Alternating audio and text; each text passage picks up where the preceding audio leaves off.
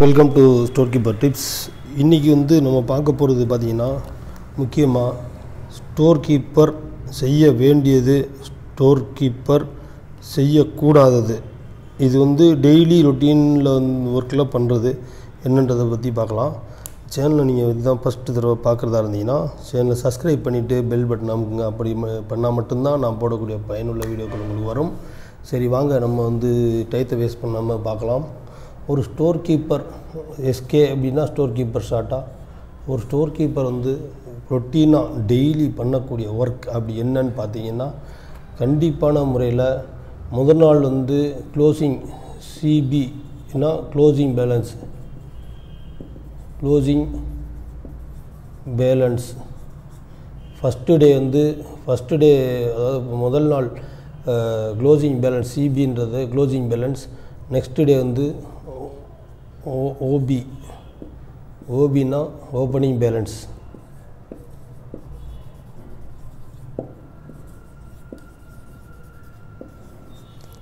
Next day வந்து opening balance. இந்த first day closing balance அப்படின்றது எல்லா மெட்டீரியல்ஸ்க்கு இன்க்ளூடிங் ஏ டு ஜெட் பார்த்தீங்கன்னா A to A to Z A to Z அப்படின்னா இதில் வந்து மெயின் சின்ன குண்டூசிலேருந்து சிமெண்ட்டு ஸ்டீல் எல்லாமே இது வந்து க்ளோசிங் பேலன்ஸு கண்டிப்பாக க்ளோஸ் பண்ணி அன்னைக்கு அன்றாடம் சிஸ்டத்தில் ஏற்றிருக்கணும். ஓப்பனிங் பேலன்ஸ் அப்படின்னா இந்த ஓப்பனிங் பேலன்ஸ் வந்து நெக்ஸ்ட் டே அதாவது இது உதாரணத்துக்கு வந்து முப்பத்தொன்று ஒரு பதினொன்று ரெண்டாயிரத்தி இருபத்தி ரெண்டுன்னு வச்சுக்கோங்களேன். இருபத்தி ரெண்டுன்னு வச்சுக்கோங்க. இப்போ ஒன்றாந்தேதி பன்னெண்டாம் மாதம் ரெண்டாயிரத்தி இருபத்தி ரெண்டாம் வருஷம். அப்போது இந்த முப்பத்தி ஒன்று பதினொன்று ரெண்டாயிரத்தி இருபத்தி ரெண்டில் க்ளோசிங் பேலன்ஸ் என்ன ஏ டு ஜெட் பொருள் இருக்கோ அதே தான் ஓப்பனிங் பேலன்ஸு ஒன்று பன்னெண்டு ரெண்டாயிரத்தி இருபத்தி ரெண்டுக்கு ஓப்பனிங் பேலன்ஸாக வரும். ஸோ இதில் வந்து நீங்கள் இப்படி தான் வந்து ஃபஸ்ட்டு சிஸ்டத்துலேயும் சரி மேனுவல் ரெஜிஸ்டர்லையும் சரி கண்டிப்பாக மோஸ்ட் ப்ராபப்ளி இப்போ சிஸ்டம் தான் யூஸ் பண்ணுறாங்க அதனால் சிஸ்டத்தை இதை மெயின்டைன் பண்ணுங்கள் ரெண்டாவது பண்ண இது வந்து பண்ணுறது அதுக்கப்புறம் physical physical stock physical stock கண்டிப்பான முறையில் எவ்ரி ஃபிஃப்டீன் டேஸ்க்கு ஒரு தடவை ஃபிஃப்டீன் டேஸ் ஃபிஃப்டீன் டேஸ்க்கு ஒரு தடவை எவ்ரி ஃபிசிக்கல் ஸ்டாக் வந்து ஃபிஃப்டீன் டேஸ்க்கு ஒரு தடவை ஏ டு ஜெட் மெட்டீரியல் வந்து கண்டிப்பாக ஒரு வீக்லி ஆஃப் வந்து என்றைக்கு கிடைக்குதோ சண்டே அப்படி இந்தியாவில் வந்து சண்டே இங்கே பஹ்ரைன் யூஏஇலெல்லாம் வந்து ஃப்ரைடே சாட்டர்டே அந்த மாதிரி. அந்த ஃபிஃப்டீன் டேஸ்க்கு ஒரு தடவை செக்ஷன் வைஸாக நீங்கள் ஐம்பது மெட்டீரியல் நூறு மெட்டீரியல் அப்படின்ட்டு வந்து இந்த ஃபிசிக்கல் ஸ்டாக்கில் வந்து நம்ம பேலன்ஸ் ஸ்டாக் வந்து கண்டிப்பாக செக் பண்ணே ஆகணும். அதுக்கடுத்து வித்தவுட் வித்தவுட் வந்து பார்த்திங்கன்னா விசுவச்சர் without issue voucher or slip வந்து மெட்டீரியல் வந்து கொடுக்கவே கூடாது. Without issue voucher without issue voucher issue slip இல்லாமல் மெட்டீரியல் கொடுக்கவே கூடாது.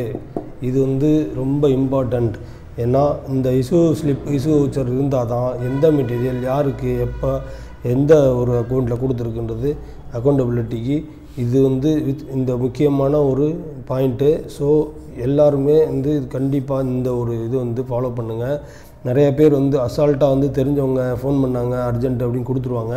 கடைசியில் இந்த ஓப்பனிங் பேலன்ஸ் க்ளோசிங் பேலன்ஸ் அப்போ திண்டாடுவாங்க.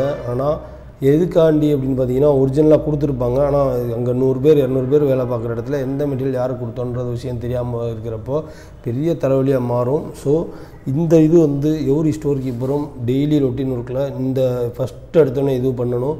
இந்த க்ளோசிங் பேலன்ஸ் ஓப்பன் பேலன்ஸு அடுத்து வந்து இந்த இஷ்யூ ஸ்லிப்பு ஓகே இதுக்கு அடுத்து வந்து இன்னமும் வந்து விஷயங்கள் அப்படின்னு பார்த்தீங்கன்னா டெய்லி வந்து உங்களோட ஸ்டோர் ஏரியா உதாரணத்துக்கு இப்படி இருக்குன்னா அந்த ஸ்டோர் ஏரியாவில் வந்து நம்ம ஃபுல்லாக வந்து ஒரு ரவுண்டு காலையிலையும் மார்னிங்கும் வந்து ஒரு ரவுண்டு ஈவினிங்கும் ஒரு ரவுண்டு மார்னிங் காலை ஈவினிங் மாலை. கண்டிப்பாக வந்து ஃபுல்லாக வந்து நீங்கள் என்ன பண்ணணும்னா ஃபிசிக்கல் ரவுண்ட் வந்து ஃபுல்லாக வந்து அடிக்கணும். ஃபிசிக்கல் ரவுண்டு வந்து நீங்கள் அடிச்சீங்கன்னா மட்டும்தான் எந்தெந்த பொருள் எங்கே இருக்குது என்ன ஏது அப்படின்றது ஃபிசிக்கலாக உங்களுக்கு ஒரு நாலேஜுக்கு வரும். இந்த பவுண்ட்ரி ஏரியாவில் செக்யூரிட்டி அந்த இருக்க இருந்தால் கூட நீங்கள் வந்து கண்டிப்பான முறையில் எல்லா ஏரியாலும் உங்கள் கண் பார்வை இருந்து அப்சர்வேஷன் மைண்டில் வரும். ஸோ இதெல்லாம் வந்து ரொம்ப சுருக்கமாக முறையில் சொல்லியிருக்கேன். இது வந்து சில பேருக்கு வந்து ஒர்க் பிஸியில் வந்து ப்ரொசீஜர் ஃபாலோ பண்ணாமல் விட்டுறதுனால நிறைய பிரச்சனைகளில் மாட்டிட்டு அவங்க வந்து ஏ டு ஜெட் மெட்டீரியல்னால் ஐநூறு மெட்டீரியல் ஆறுநூறு மெட்டீரியல் இருக்கும். அதெல்லாம் வந்து அவங்க தலைவலியில் மாட்டுவாங்க. ஸோ இதை வந்து நீங்கள் ஃபுல்லாக ஃபாலோ பண்ணிங்கனாலே உங்களுக்கு ஃபிஃப்டி பர்சன்ட்டு ப்ராப்ளம் வந்து சால்வ் ஆகும். ஓகே மீண்டும் சொல்கிறேன் சேனலை பிடிச்சிருந்தா சப்ஸ்கிரைப் பண்ணிவிட்டு பெல் பட்டன் ஆன் மட்டும்தான் நான் போடக்கூடிய வீடியோக்கள் வரும்.